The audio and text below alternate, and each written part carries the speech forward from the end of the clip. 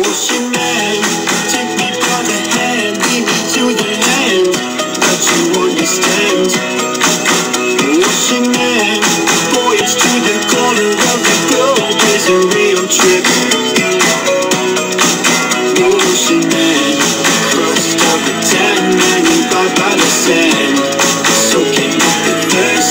language man Can you see it through the wonder of amazement?